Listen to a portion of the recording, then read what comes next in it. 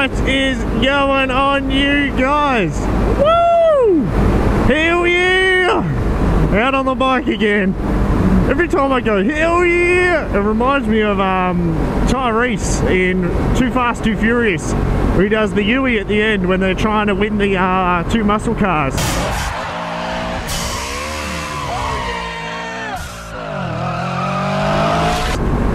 Think it's the Hemi and uh, the Z28, something like that. Uh, he does a U-turn and goes, hell yeah! What I thought I'd talk to you guys about today is trusting this. Trusting this down here. Because trusting your peripheral vision is something that you need to do on a bike, man. It is something that you have to just learn to adapt with. Your, your peripheral vision, it can take in stuff. You don't have to be physically looking at the object to know it's there.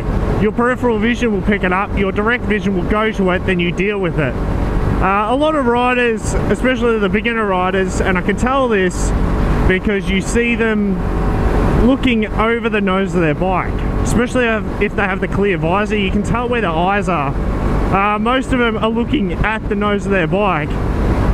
That's a no-no. Don't do that, man. Uh, because if you're looking down there, you're not seeing what's in front of you. And that's how a lot of accidents happen. A lot of motorcycle accidents happen that way. Now, say XVM 500 in front of me slams on the brakes like this learner is, right? They do that, and if I'm looking at the nose of my bike, I don't see any of this. I don't see any of this, you see? So, if I'm looking down there, they're slamming on the brakes, I react too late. There's actually a guy, he made the news, went into the back of a van uh, because of, I'd say that reason. Like if this guy ever sees this video, he may be able to um, argue with that. But I'd say it's just not paying attention to what the hell he was doing. He wasn't looking ahead. He didn't notice that the traffic had stopped. You could see that the traffic was stopping. Uh, even behind a ute like that, on the, I think he was on a Hyosung, on a Hyosung, you can see through that, through the back window of that ute. You'd be able to tell what's going on. Um, I'd say he was either like in autopilot or daydreaming or just looking over the nose of his bike. Doing that, man, it's it brings your reaction time to the nose of the bike. That's what it does.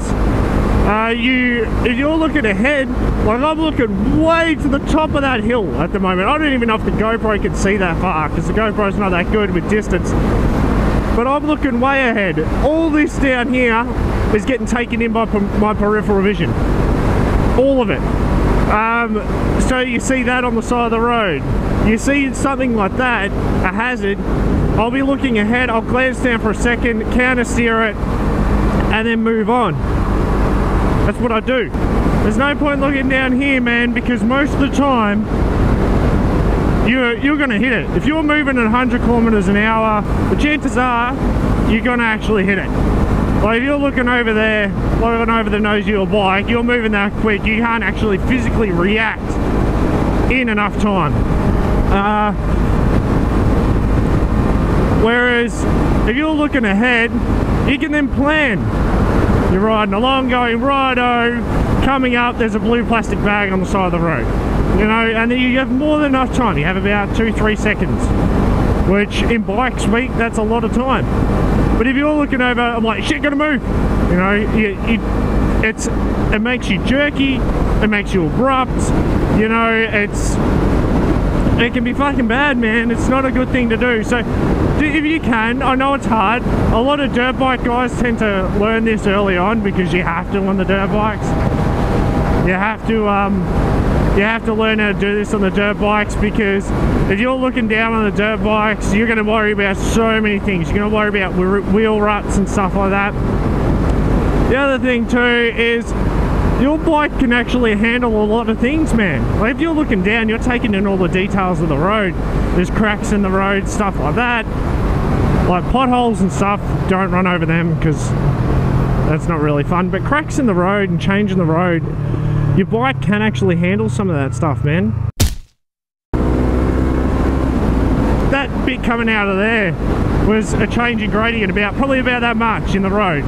So base of the road and the other base. If I was looking down at the road, I would have gone, oh shit, You know, that's one hell of a big bump. My bike's not going to do it. But your bike does it. The suspension soaks it up. Uh, you just got to brace on the bike and prepare for it. But that's why you got to look ahead, man. Also, the thing like with hazards, hazards, you need to, being on a bike, it's all about prevention. If you're looking down, your prevention time is very, very minimal. Like it becomes very diminished. Like you need to start prepping for this corner. You start braking. You know, trail brake in. Make sure there's no cars. Make sure they're not going to cut back across on top of you. You know, throttle out. Probably should have dropped down a gear, but because I'm just cruising, I'm not really fast. If I'm looking over at the nose of my bike, I come to that roundabout. I go, shit, I've got to turn. Man, are there any cars? Because I'm not looking ahead and you become abrupt, you slam on the brakes, you can wash out the front, you can wash out the rear, you can hit the roundabout. And I know that's fucking sounds so stupid and stuff, but people who've done it, dude, they're like, man, oh shit, roundabout, oh, we're going airborne. You know, it's it happens. If you're not paying attention, it happens. This is why I tend to get frustrated with how strict they are with the speed limits and stuff because you spend a lot of time uh, looking down at your speedo, especially in like high patrolled areas and um, and places where there's heaps of speed cameras and stuff, because because it um it takes you away from actually looking up ahead and getting a good buffer time, if you know what I mean. So, and the other things on a bike, man, if you guys ride or you're watching this video and you're looking at getting into riding, I do this a lot for these types of videos, a lot for beginner riders, man. Um, initially like these sort of even if you're an experienced rider and you've you've never really thought of this but most experienced riders have come across this stuff but hey you learn something new every day don't you that, that's the way it is. But I do these a lot for the beginner riders. So say if you're if you've never actually um, never actually ridden a bike and you want to know about all this stuff this is why I do these videos because naturally you'll hop on the bike and you'll look down. Now I'm already looking at this roundabout probably keep the speed on make sure there's no one coming to the roundabout roll off throttle someone's coming through right? Another potential person to come through. Back off come through watch out for car. He, he should stay this inside lane but we form one lane he will follow me, me behind me and I'll just sit behind this guy. This guy's wood load. You got to watch out for that. Um, sometimes you get stuck behind cars. He stayed over for me but I just couldn't be bothered accelerating past him because you're stuck behind a truck and stuff anyway. Uh, most of the time you can get these guys on roundabouts because they fan out into two lanes and they go down into one lane. And this is new reasonably new bitumen too so you got to watch the grip conditions. They've either redone the lines or it's new bitumen smells like new bitumen. Riding bikes man it just comes with experience dude. And the more and more you're on the bike the more and more you get to know your bike. Because getting to know your bike is another huge part man. You need to get to know your bike. And then everything else just comes naturally. It's like autopilot. If you don't have to think about it and you just do it that is where you want it to be. Because in those situations you can react and you can just do it you don't have to think about what gear you're in. You just know by the feel of the bike. All this stuff comes with the experience guys but the main thing is peripheral vision. Trust it. You have to trust it.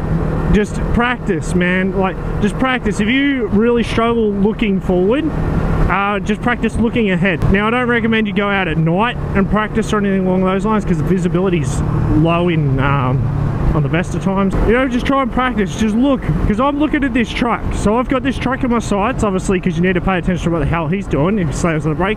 But I'm also looking around him and around that bend. I'm looking at where I've got to go, sussing out the situation. You know, is there any if there is there any stationary cars? Is there any roadworks? Is there anything going on up there that I need to see?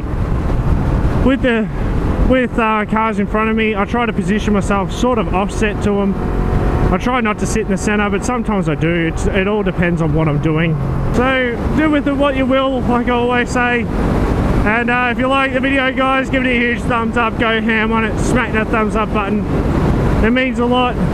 It helps me out. If you have any questions, shoot them in the comment section. I'm more than happy to try and answer them for you. And as always, guys, don't forget to join the ride, subscribe, if you want to stay up to date with all my latest videos, make sure you hit the little bell icon. Apparently that notifies you for everything. Who knows? Until next time, guys. Poosh.